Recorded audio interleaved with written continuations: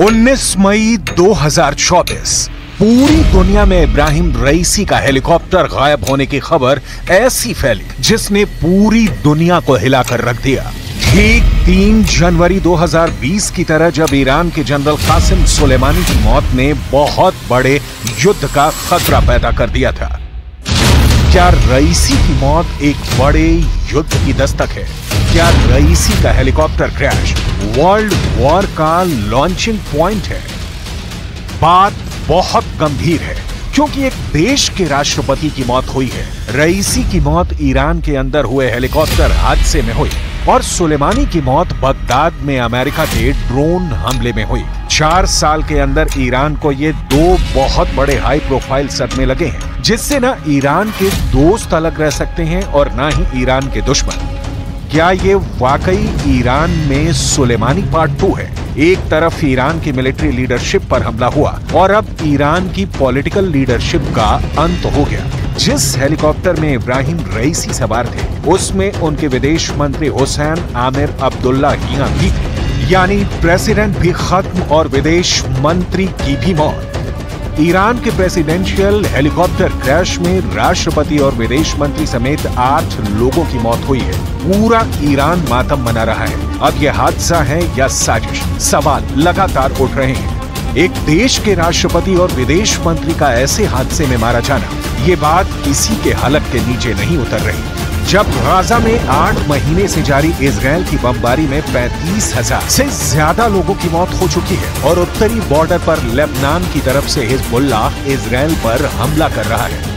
तब ईरान की लीडरशिप का सीधा मुकाबला इसराइल और अमेरिका से भी हो रहा है। दोनों कैंप एक दूसरे को एक आँख नहीं पसंद करते। एक तरफ़ बाइडन, नेतन्याहू और उनके नेटो के दोस्त। तो दूसरी तरफ़ हमास चीफ इस्माइल हानिया के साथ हिजबुल्ला और ईरान की लीडरशिप खड़ी हुई है। इनके साथ रूस भी है और चीन भी खड़ा है।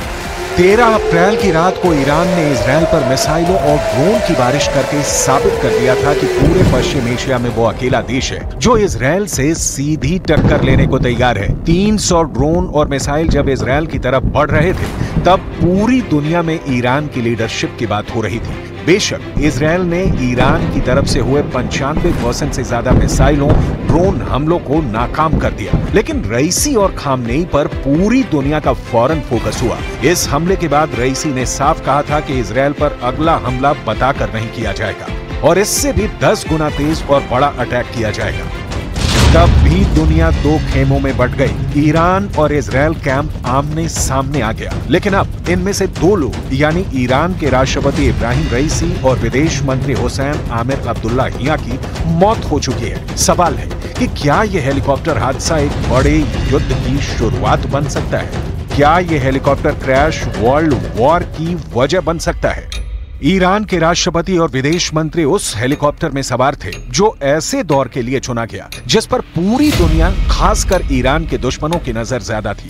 ईरान के राष्ट्रपति रईसी अपने पड़ोसी अजरबैजान में किज कलासी और खोदा फरीन बाँध का उद्घाटन करने गए थे। ये उस वक्त का वीडियो बताया जा रहा है, जब रईसी और बाकी लोग उद्घाटन वाली जगह हेलीकॉप्टर से जा रहे थे। ऐसा कम ही होता है जब ईरान या बाकी देश की टॉप लीडरशिप विमान या हेलीकॉप्टर में साथ चलती है। इस वीडियो में रईसी भी हैं और विदेश मंत्री अब्दुल्ला हिया भी। इस उद्घाटन के बाद वो वापस ईरान के तबरीज शहर की तरफ़ जा रहे थे। रईसी बेल कंपनी के यूई टू हेलीकॉप्टर पर सवार थे। लेकिन रास्ते में ही उनका हेलीकॉप्टर क्रैश हो गया जहां हेलीकॉप्टर गिरा वो जगह तबरीज शहर से 50 किलोमीटर दूर वर्जे कान शहर के पास है इस हेलीकॉप्टर क्रैश को लेकर थ्योरी बहुत सी सामने आ रही है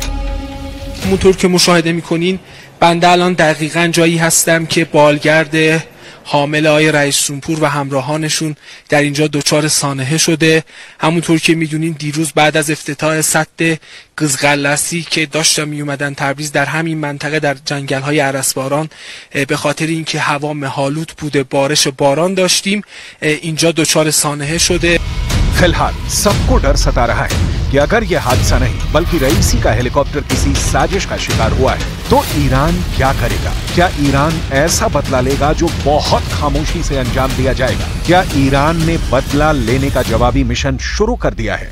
इस वक्त पश्चिम एशिया पर बहुत बड़ा खतरा मंडरा रहा है। शायद गाजा में चल रही बमबारी से भी बड़ी तबाही दुनिया के इस इलाके की चौखट पर इंतज़ार कर रही है। रईसी का हेलीकॉप्टर क्रैश होने के बाद दुनिया का रिएक्शन देखिए। रूस से व्लादिमिर पुतिन ने कहा कि हमने इब्राहिम रईसी और हुसैन आमिर अब्दुल्ला हिया अपने दो दोस्त खो दिए। भारत ने कहा कि इस खबर से हम दुखी हैं। इब्राहिम रईसी ने भारत और ईरान की दोस्ती मज़बूत करने के लिए बहुत काम किया। भारत इस वक्त ईरान के साथ खड़ा है। प्रधानमंत्री मोदी ने ये बात अपने ट्वीट में भी कही है। मलेशिया ने भी कहा है कि बहुत दुख हुआ। इराक ने कहा कि दुख के इस वक्त में ईरान के साथ है। तुर्की ने भी अफसोस ज़ाहिर किया। यूरोपियन यूनियन ने कहा कि उसे अफसोस है। कतर ने भी कहा दुख है। पाकिस्तान में एक दिन का शोक रखा गया है। चीन में शी जिनपिंग ने कहा कि चीन ने एक अच्छा दोस्त खो दिया।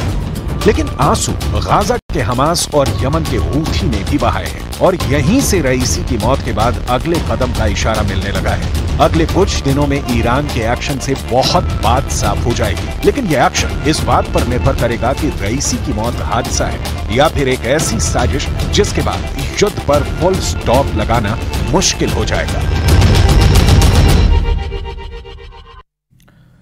तो रईसी की मौत पर अमेरिका और इसराइल अब तक खामोश हैं। सवाल उठने लाजमी हैं और रईसी की मौत पर दुनिया भर में शोक संवेदनाएँ जताई जा रही हैं। प्रधानमंत्री नरेंद्र मोदी ने कहा कि भारत ईरान की दोस्ती में रईसी की बड़ी भूमिका रही है। रईसी की मौत अब बड़ी मिस्ट्री बन गई है।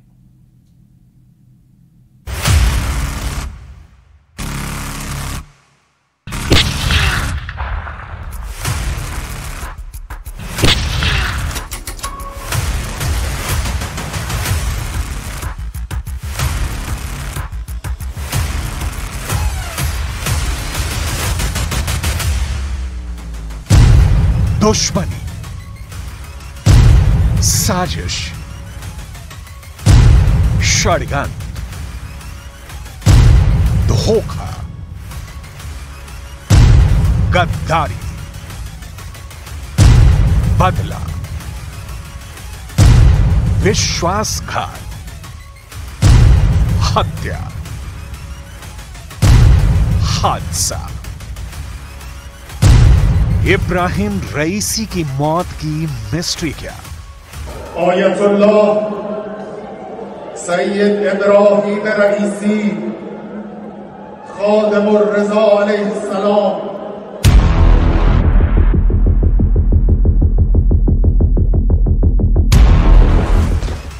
क्यों गिरा रईसी का हेलीकॉप्टर? कैसे हुई रईसी की मौत? जलने से, चोट लगने से, या वजह कुछ और रही। रईसी की मौत की गुत्थी सुलझाने में दुनिया के बड़े बड़े एक्सपर्ट जुटे हैं। लिहाजा यह समझना बहुत ज़रूरी है कि रईसी की मौत सिर्फ़ हेलीकॉप्टर क्रैश की वजह से हुई, या इसके पीछे कोई बड़ी साजिश है।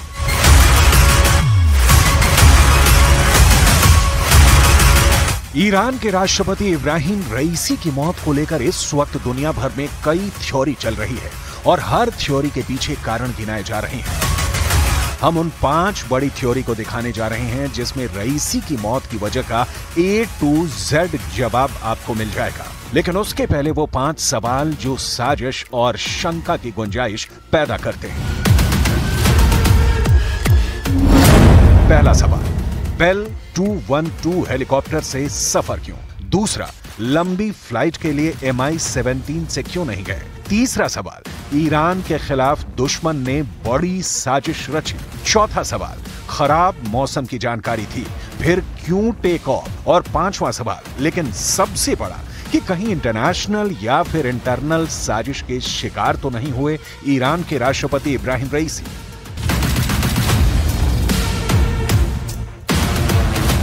इन सवालों में रत्ती भर भी सच्चाई है तो फिर पूरी दुनिया के सामने नया और एक बहुत बड़ा संकट आने वाला है। इस संकट की डिटेल आपको आगे दिखाएँगे। अभी उन थ्योरी को देखते हैं जो रईसी की रहस्यमयी मौत से पर्दा उठाएगी। साजिश की थ्योरी नंबर एक। एक बेहद सामान्य लेकिन बहुत मज़बूत सवाल उठ रहा है कि मौसम खराब था, कोहरा था, धुंध थी लेकिन फिर भी रईसी का हेलीकॉप्टर टेक ऑफ़ क्यों हुआ? इसे एनिमेशन के ज़रिए समझते हैं। रईसी के काफिले में एक, दो, तीन हेलीकॉप्टर थे। मौसम तीनों के लिए समान था, लेकिन दो हेलीकॉप्टर सामान्य लैंडिंग करने में सफल रहे और रईसी वाला हेलीकॉप्टर दुर्घटना का शिकार हो गया। सवाल है कैसे? क्या पायलट से कोई गलती हुई? या हेलीकॉप्टर में ऐसा कोई डिवाइस फिट किया गया था जिसकी वजह से क्रैश हुआ?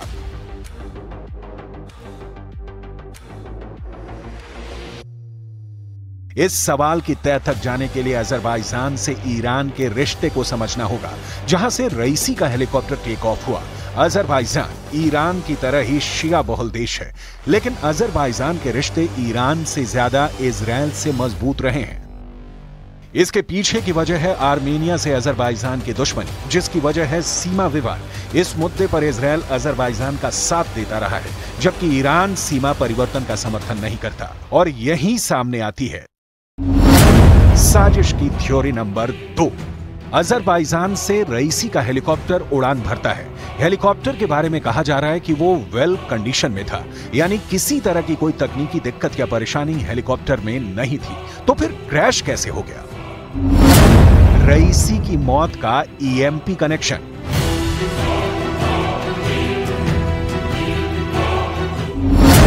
ईएमपी मतलब electromagnetic pulse weapons electromagnetic pulse cannon से निकली तरंगों का इस्तेमाल करता है। ये एक सुपर शक्तिशाली माइक्रोवेव सिस्टम का उपयोग करता है। ईएमपी से निकली ऊर्जा इलेक्ट्रॉनिक उपकरणों जैसे ड्रोन में वोल्टेज वृद्धि का कारण बनती है। इससे पहले कि ड्रोन या कोई दूसरा इलेक्ट्रॉनिक उपकरण अपने तापमान को नियंत्रित कर सके, ये इलेक्ट्रोमैग्नेटिक पल्स वेपन उसे बेकार बना देता है। तो क्या अजरबैजान में रईसी के हेलीकॉप्टर के टेक ऑफ़ के पहले उसमें ईएमपी फिट किया गया या ईएमपी के ज़रिए हेलीकॉप्टर को उड़ा दिया गया?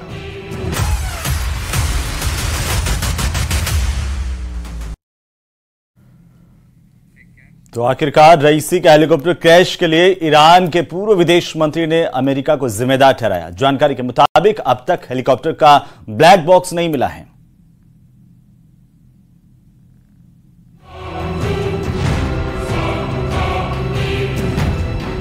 ईरान की बढ़ती ताकत पश्चिम देशों से लेकर अमेरिका और इसराइल तक के लिए परेशानी का कारण रही है। यूक्रेन युद्ध में रूस को ईरान के ड्रोन सप्लाई की वजह। परमाणु शक्ति का संवर्धन वो कारण है जिसकी वजह से नैटो ताकतें बहुत तनाव में रही हैं। लिहाजा ये भी शंका पैदा हो रही है कि कहीं रईसी की मौत का कारण पश्चिमी देशों में रची गई कोई साजिश तो नहीं है। साजिश की थ्योरी नंबर थी।